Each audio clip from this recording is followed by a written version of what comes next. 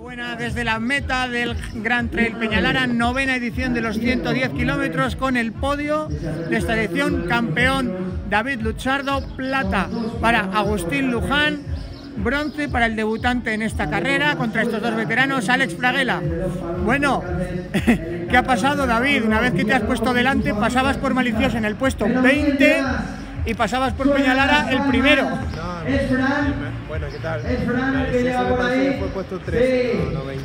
Enhorabuena, compañero. Me tomé tranquilo Otro y clásico de otro corredor de la de la de Fran Blas, Carreño, ya me puse primero, con el que a veces he tenido pero no fue hasta las 10 horas cuando ya conseguí sacar algo de ventaja Un a año. La verdad que le pasó bastante mal porque me encontraba un poco, un poco malo de gripe y me he dado cuenta que me ha mermado un poco, sobre todo arriba en el pico de Peñalara hacía mucho, mucho frío y ahí, ahí me, ha dejado, me ha dejado es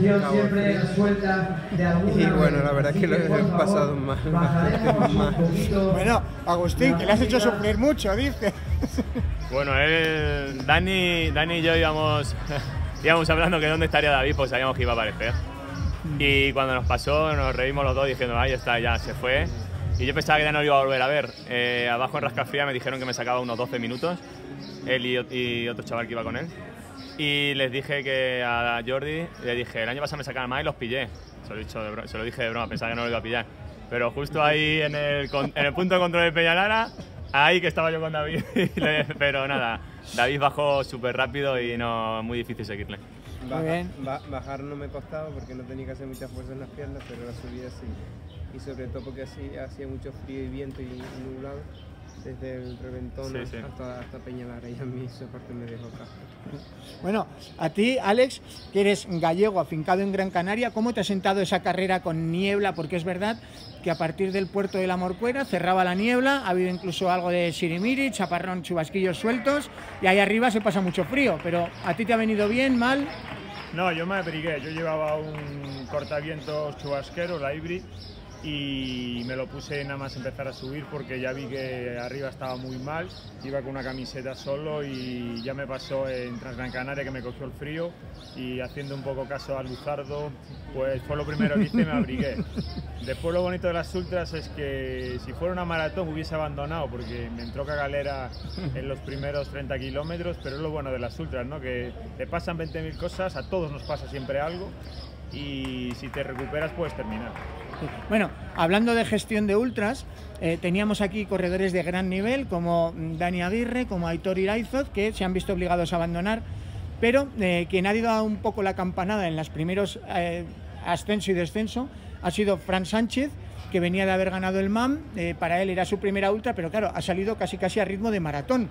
¿Qué habéis pensado vosotros cuando habéis visto que una persona se iba por delante y os dejaba a todos atrás ya en malicioso?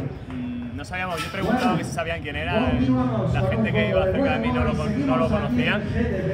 Eh, conforme fue avanzando después de Maliciosa, en la olla de, la olla de San Blas, en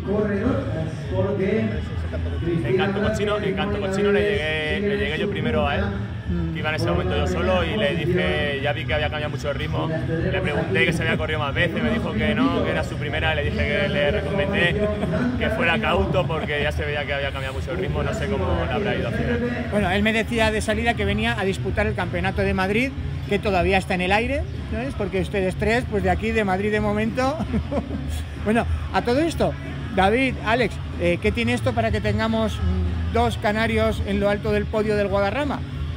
Es una carrera, le he preguntado a Luzardo y me dijo que a él le gustaba, que era una buena carrera y bueno, una- un poco de culpa de, de yo estar aquí ha sido Luzardo, que siempre hablamos de las carreras, las que nos gustan y tal, y compartimos y la culpa un poco de Luzardo.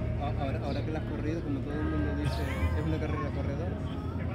Yo, a ver, yo pensé que iba a ser más corredora. La primera bajada, la primera bajada me metí una hostia. Sí, después de la granja del llano. Sal- granja salvé, del- salvé- salvé los tobillos, pero bueno, dedos- se me terminó la temporada de remo, ya no puedo remar este año, pero bueno, correr puedo correr, así que sin problema. Muy bien, bueno, señores, enhorabuena a los tres, una carrera espectacular y que nos veamos en muchas más. GPS